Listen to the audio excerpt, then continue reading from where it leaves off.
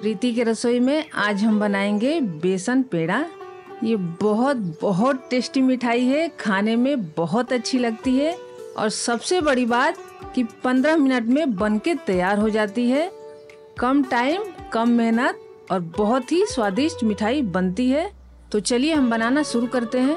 तो इसके लिए हमने लिया है एक कप बेसन और आधा कप मैदा और एक कप शक्कर पिसा हुआ और आधा कप घी और ये पाँच छः काजू, पाँच छः बादाम और पाँच छः पिस्ता है। इसको हमने बारीक बारीक काट लिया है और हमने आधा चम्मच इलायची पाउडर लिया है। तो चलिए अब हम शुरू करते हैं बनाना। गैस पे कढ़ाई रखेंगे और अब हम ये कढ़ाई में घी डाल देंगे। ये हमारा 125 ml घी है और इसमें से हम एक दो चम्मच बचा लेंगे, बाद में डालेंगे और थोड़ा सा मेल्ट होने देंगे। मेल्ट होने के बाद हम ये एक कप बेसन इसमें डाल देंगे। और आधा कप मैदा दोनों डाल देंगे और दोनों डाल के हम अच्छे से चलाएँगे। लगातार इसको चलाते हुए हम भूनेंगे और फ्लेम को हम लो रखेंगे। लो फ्लेम पे ही भूनना है, नहीं तो आपका बेसन जल जाएगा। और भूनते हुए देखिए दो मिनट हो गए हमारे। फिर ये जो बचा हुआ घी है ना, वो हम डाल देंगे सारा। और ऐसे लगातार चलाते हुए हम भूनेंगे। और ध्यान रहे लो फ्लेम पे ही भूनना है, नहीं तो आपका बेसन जल जाएगा। तो फिर खाने में अच्छा नहीं लगेगा, टेस्ट खराब हो जाएगा। और जब ये भून जाएगा ना बेसन तो इसमें से अच्छी खुशबू आने लगती है। तो समझ जाइए कि हमारा बेसन भुन गया और कलर भी चेंज हो जाता है। तो ये देखिए, हमारे तीन से चार मिनट भूनते हुए हो गए। इसमें से अच्छी खुशबू आ रही है और कलर भी इसका चेंज हो गया है, आप देख सकते हैं। इसका हम कलर निखारने के लिए थोड़ा सा हम हल्दी डालेंगे। एक से दो पिंच के करीब डाल के चलाएँगे। हल्दी के जगह पे आप चाहें तो फ़ूड कलर भी थोड़ा सा डाल सकते हैं। पर हमें नेचुरल रखना है तो हम हल्दी डालेंगे। हल्दी से भी बहुत अच्छा कलर इसका आ जाता है। तो डाल के हम लगातार फिर से चलाएँगे।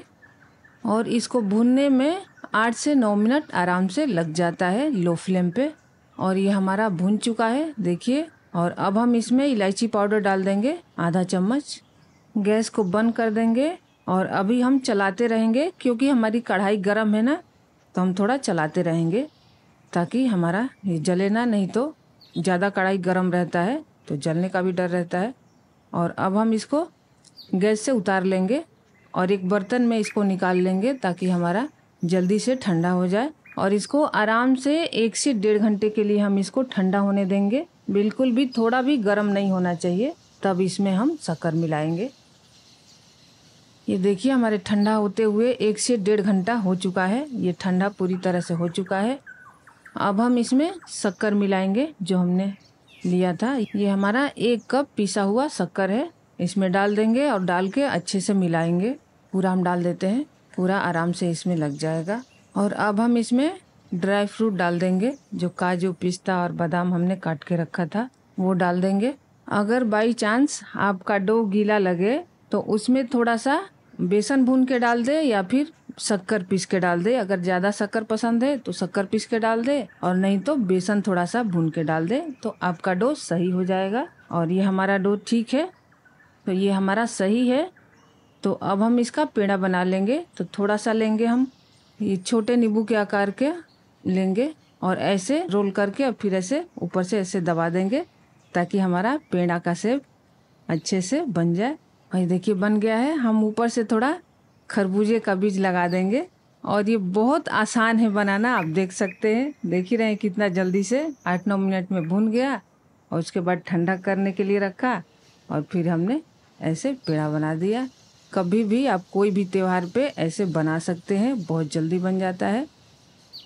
तो लीजिए, हमारा बेसन पेड़ा बन के तैयार है। देखिए, कितने सुंदर दिख रहे हैं ना? जितना सुंदर दिख रहे हैं, उससे कहीं ज़्यादा खाने में बहुत स्वादिष्ट है। कम टाइम, कम मेहनत में ये पेड़ा बन के तैयार हो जाता है और ये एकदम सॉफ्ट, नरम बनता है। एकदम देखिए, कितना सुंदर बना हुआ है और एकदम पेड़े की तरह इसका टेक्सचर आया है, देख सकते हैं आप। तो आप इसे ज़रूर ट्राई करें। हमें पूरी उम्मीद है कि आपको ये पेड़ा बहुत पसंद आएगा और हमें कमेंट में बताएँ कि ये रेसिपी आपको कैसी लगी। अच्छा खाएँ, स्वस्थ रहें, मस्त रहें।